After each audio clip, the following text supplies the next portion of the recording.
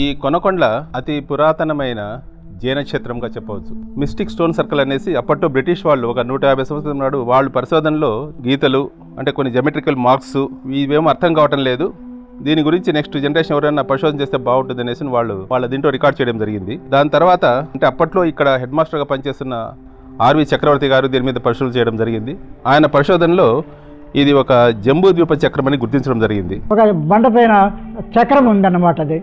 చక్రం వచ్చి అన్ని సున్నలు చుక్కలు అన్నీ ఉన్నాయి దాంట్లో చక్రంలో అది దాంట్లో అదే జంబూదీప పటం అన్నమాట ఆ చక్రమే. అది నేనే అరవై ఆరో సంవత్సరంలో గుర్తించినాను. శ్రావణబిలగలలో గోమటేశ్వరుని విగ్రహం ఉంది. ఆ గోమటేశ్వరునికి ఎంత ప్రాముఖ్యత ఉందో ఇక్కడ కొండ కుందాచారులు కూడా అంత ప్రాముఖ్యత ఉందన్నమాట కొనకొండలో. జంబూద్వీపం గురించి రామాయణము భారతము మహాభారతము మహాభాగవతము పద్దెనిమిది పురాణాల్లో కూడా దాని విషయం అంతా ఉంది. దాని జంబూదీప యొక్క వర్ణన పటాలు కూడా ఉన్నాయి దాంట్లో. కానీ ఇక్కడ కొనకొండలో రసీదుల గుట్టపైన ఉండేటువంటి జంబూదీప చక్రం ఒరిజినల్ అన్నమాట అది. ఒక విదేశీ వనిత క్వాలిటీ కైలెట్ అని ఆమె జంబూ జైన్ కాస్మాలజీని బుక్ రాసింది. ఒరిజినల్గా వచ్చిన్ను జైన పురుషుని నాభి స్థానంలో ఉన్నట్టుగా ఇది డిపిక్ట్ చేయడం జరిగింది. ఇంకా కొన్ని రాజస్థాను ఇంకా వేరే కొన్ని ప్రాంతాలు ఉండే పెయింటింగ్స్ కూడా ఈ విధంగా చూపించారు. కానీ స్టోన్ మీద ఈ విధంగా కార్వింగ్ ఉండడం మాత్రము బహుశా అంటే ఈ కొనకొండలోనే చెప్పొచ్చు మనము. జంబూద్వీప చక్రము వెరీ పెక్యులర్ ఇది. ఇండియాలోనే అసలు ఎక్కడ మనము భారతదేశం ఎక్కడ చూడలేము ఇలాంటి ఇది అందువల్ల దీనికి చాలా ఇంపార్టెన్స్ ఉంది. ఇది ప్రస్తుతము స్టేట్ ఆర్కియాలజీ డిపార్ట్మెంట్ ప్రొటెక్టెడ్ మాన్యుమెంట్గా డిక్లేర్ అయి ఉంది. ఇక్కడ చూస్తే కనుక ఒక జైన గురువును చూపిస్తున్నారు. కుండకుండాచార్య కుండకుండేయ తీర్థ అని పిలుస్తారు. అతను ఒక జైన మాంక్ ఆ గురు పరంపరలో భద్రబాహుడు తర్వాత కుండకుండాచార్యుడు అనమాట ఈ కుండకుండాచార్య వచ్చిన్ను అతను forty eight BC forty AD మధ్యలో ఉన్నట్టుగా తెలుస్తోంది. అతనే ఏలాచారి అనేసిన్ను పద్మనంది అనేసిన్ను. ఒక వర్షన్ ప్రకారము తిరుకులు రాసింది కూడా ఇతనే. ఆ తిరుకురాల పుస్తకంలో అంత అంతా అది కూడా మన వేద వేమన వేదాల మాదిరి అంత భ- భక్తి సంబంధంగా అన్ని దాంట్లో ఉన్నాయన్నమాట. నీ- నీతి శతకం మాదిరి ఉంది అన్నమాట అది. ప్రాకృతంలో రాసినారు ఆయన. కొండకందచారులు దిగంబర సన్యాసి కాబట్టి ఆయన పోలేదు. ఆయన శిష్యుడు ఒక ఆయన నా నాయనవారు నాయనారు అని ఉన్నాడు. ఆయన పంపించినారు. ఆయనపై ఆ పుస్తకం అక్కడ చదివినారు ఆ సభలో. చదివిన తర్వాత ఆయన పేరు వచ్చేసింది అనమాట ఇప్పటికి కూడా ఆ తిరుక్కురాలు రాసింది ఎవరు అంటే వల్లువర నాయనారే అంటారు. కొండకుందాచారుల గురించి ఇంకా విశేషాలతో ఎక్కువగా ధర లభించడం లేదు. ఆయన క్యాస్ట్ గురించి తెలిసింది ఈ మధ్య. మతం పల్లి వాళ్ళు అన్నమాట ఆయన. పల్లి వాళ్ళు క్యాస్ట్కి సంబంధించిన వ్యక్తి అన్నమాట ఆయన. నగౌర్ అనే ఊరిలో ఒక సభ శాసనం ఉంది. ఆ శాసనంలో ఉంది దాని గురించి. చాలామందికి తెలియదు అది. జంబూద్వీప చక్రంలో కొన్ని రహస్యాలు ఉన్నాయి అది రససిద్ధుల గు- గుట్ట అని దాని పేరు. రసవాదంలో సిద్ధి పొందిన వాళ్ళు అన్నమాట వాళ్ళు. వాళ్ళు బంగారు తయారు చేసేవాళ్ళు ఆ కాలంలో ఈ మూలికలతో. తిరుక్కురలు అనేటువంటి ప్రపంచ ప్రఖ్యాతి చెందినటువంటి గ్రంథము రాసినటువంటి వ్యక్తి కొండకుందాచారులే రాసినారు అంటే మన అనంతపురం జిల్లాకి ఇది గర్వకారణము. నల్గొండ జిల్లాలో తెలంగాణ రాష్ట్రంలో ఉండే ఫణిగిరి అక్కడ ఒక బౌద్ధ క్షేత్రంలో త్రవ్వకాలు జరిపినప్పుడు అప్పుడు నేనే అక్కడ ఎక్స్కవేటర్ కూడా అక్కడ మాకు ఒక ఇక్ష్వాకుల కాలం నాటి కొన్ని శాసనాలు బయటపడ్డాయి. అందులో ఒక ఫ్రాగ్మెంటరీ స్టోన్లో అక్కడ క్లియర్గా ఆ ఊరి పేరు చూపిస్తున్నాడు కానీ అది కట్ అయింది అనమాట ఆ స్టోను. చూపిస్తూ అక్కడ జంబూ ద్వీప మూల వాయువ్యనే అనేసి ఆ సాంస్క్రిట్ వర్డ్స్గా ఆ జంబూ దిప్పని గురించి ప్రస్తావన అక్కడ కూడా ఉందన్నమాట. అంటే దాదాపు మనకు మూడవ శతాబ్దం నుండి కూడా ఈ జంబూ ప్రస్తావన శాసనాలు కూడా మనకు కనిపిస్తున్నట్టుగా ఆధారంగా ఉంది. ఇక్కడ ఈ సిద్ధులగుట్ట గతంలో ఇక్కడంతా కూడా బాగా ఫ్లరిష్ అయింది జైనిజము ముఖ్యంగా ఈ బాదామి చాళుక్యాసు కళ్యాణి చాళుక్యస్ వరకు బాగా ఫ్లరిష్ అయింది.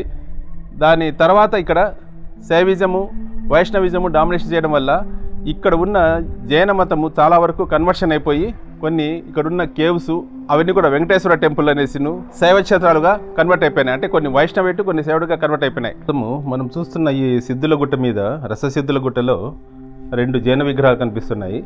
ఈ టిపికల్ ఛత్ర జైన్స్కి వచ్చే ఛత్ర ఉంది ప్రభావళి ఉంది కర్లీ హెయిర్స్ ఇయర్ ఆర్నమెంట్స్ లాగా ఎయిర్స్ వచ్చినాయి దిగంబర పాస్చర్లో ఉన్నారు. అలాగే ఇక్కడ పద్మ పీట మీద నిలబడినట్టుగా దీన్ని కాయస్థరాగ పాస్చర్ అంటారు. ఇది టిపికల్ జైన్స్ నిలబడే పాస్చర్ అన్నమాట. అంటే జనరల్గా జైన్స్లో చిన్ను సిట్టింగ్ ఆర్ స్టాండింగ్ ఉంటుంది. ఇక్కడ ఇద్దరు శాసన దేవతలను చూడొచ్చు మనము. తెలుగు కన్నడ లిపిలో ఇక్కడ లెటర్స్ కనిపిస్తోంది. వాళ్ళ ఆర్టిస్టిక్గా ఈ ఫేషియల్స్ వాళ్ళ యొక్క బాడీ అనాటమీ చూస్తే కనుక ఇది around twelfth thirteenth century period కనిపిస్తుంది. పద్మం మాత్రం కనిపిస్తుంది. ఇక్కడ ప్రభావళి ఉంది. కాబట్టి బహుశా ఇది మహావీర ఉండడానికి అవకాశం ఉండొచ్చు. సింబాలిక్గా సిగ్నిఫికెన్స్గా అక్కడ కూడా శాస్త్ర దేవతలు ఉన్నాయి కానీ సింబాలిక్ రిప్రజెంటేషన్ ఏమీ లేని దానివల్ల దిగంబర జైన్గా చెప్పొచ్చు అనమాట మనం. మనము అనంతపురం జిల్లాలోని అమరాపురం శాసనాల్లో తేలగిరి అని పిలిచే అంటే పక్కన ఈ తేలగిరి పెద్ద tank huge tank ancient tank ఇది కూడా ఆ చెరువు పక్కన ఉన్న ఒక జైన బసది దగ్గర ఉన్నాం మనము. అమరాపురం అనగానే అందరి గుర్తొచ్చేది జైనిజం అనమాట అమరకోశాన్ని రాసిన అమరసింహుడు జైన్స్ అని అతను నాలుగైదు శతాబ్దాల వాడని అతని ఈ ఊరికి అమరాపురం పిలువడింది చెప్పబడుతుంది. ఇక్కడ కనిపిస్తున్నది ఒక శాసనము అందులో కూడా మనం చూడొచ్చు ఇక్కడ జైన తీర్థంకరుని పార్శ్వనాథ తీర్థంకరుడు అనమాట అంటే వీళ్ళు మొత్తం ఇరవై నాలుగు మంది తీర్థంకరులు ఇరవై మూడో వాడు పార్శ్వనాథుడు. ఇక్కడ మనం చూడొచ్చు అక్కడ అతనికి. వెనకాల వచ్చిన ఆ స్నేక్ క్యానోపీ ఉంది ఛత్రా ఉంది ఇక్కడ. ఇక్కడ కొన్ని జైన విగ్రహాలు కూడా చూడొచ్చు. ఇక్కడ పానబట్టం ఇక్కడ కనిపిస్తుంది. అంటే తర్వాత తర్వాత స్టేజ్లో ఎక్కడెక్కడ జైన సెంటర్స్ ఉన్నాయో తర్వాత అవి వాటిని అంతా కన్వర్ట్ చేస్తూ ప్రైవేట్ సెంటర్స్ గాను వైష్ణవ మార్చడం జరిగింది. ప్రస్తుతం ఈ డెవలప్డ్ కండిషన్లో ఉన్న జైన వసతి మనం చూడొచ్చు. అనంతపురం జిల్లాలో ఉండే ముఖ్యమైన జైన సెంటర్స్లో అమరాపురం కూడా చాలా ఇంపార్టెంట్ జైన సెంటర్ ఇది. ఆదినాథుడు అంటే వృషభనాథుని దేవాలయం ఇక్కడ ఉంది ఇక్కడ జైన తీర్థంకరది. ఈ జైనిజం జైనిజంలో మొత్తం ఇరవై నాలుగు మంది తీర్థంకరులు ఉన్నారు ఫస్ట్ అతను వృషభనాథుడు చివరి వాడు వచ్చిన మహావీరుడు అన్నమాట ఈ వృషభనాథుని గురించి క్రీస్తు పూర్వం పదహైదు వందలలోనే ఋగ్వేదంలోనే ఎన్నో స్ట్రాంజాలు చెప్పడం జరిగింది. రత్నగిరిలో కోటకు వెళ్ళే దారిలో ఒక జైన బసది ఉంది జైన మఠం ఉంది. ఇక్కడ వచ్చిన పార్శ్వనాథుని ఆలయం ఉంది ఇక్కడ లోపల. ఇక్కడ చూస్తే కనుక ఇక్కడ మానస్తంభం చూడొచ్చు ఇక్కడ మనము. అంటే మనకు మామూలుగా టెంపుల్స్లో ధ్వజస్తంభం ఉంటుంది. అదే జైన్స్లో అయితే కానీ ఇది మానస్తంభం ఉంటుంది. ఇక్కడ మానస్తంభం ఉంది. ఇప్పుడు ఇక్కడేమో పార్శ్వనాథుడు కాబట్టి ఆమె శాసన దేవతని ఇక్కడ చూపిస్తున్నారు పద్మాసం ఇక్కడ చూడొచ్చు అనమాట అద్భుతమైన పార్శ్వనాథము. ఎంతో పాలిషుడు చేసిన స్టోన్ అది. ఏడు తలల వెనకాల నాగ నాగేంద్రుడు పడగలో పార్శ్వనాథుని చూడొచ్చు మనము. అదే మనకు పెనుగండ్లు అయితే కనుక పచ్చ పార్శ్వనాథ్ అనేసి గ్రీన్ స్టోన్లో ఉంటుంది. ఇది బ్లాక్ స్టోన్. ఇప్పుడు మేము ఉండేది ఇది జైన మఠము. ఇక్కడ స్వామీజీలు ఉంటారు మఠాధిపతులు. దీన్ని లక్ష్మీసేన స్వామీజీ అని పెనుగొండ నుంచి వచ్చి కట్టించినారు అని ప్రసిద్ధి. పార్శ్వనాథ్ తీర్థం కాదు బాహుబలి ఇక్కడ ఒక బాహుబలి విగ్రహం ఉంది. అది ఈ శ్రవణ్ బెడగుళ మళ్ళీ రత్నగిరి రెండు ప్లేస్లోనే ఉండేది. అట్లా అటువంటి విగ్రహం మట్టితో చేసిండేది.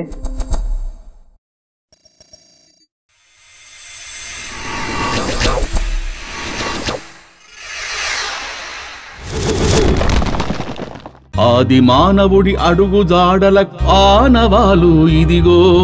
అనంతమైన ఘన చరిత ఇది మానవాళి వినుకో. మానవ జీవన పరిణామంలో మలుపులెన్నో కనుగో. మన పూర్వీకుల అవతారాల అంతరంగ కథనం. అమోఘం అద్భుతం అద్వితీయం.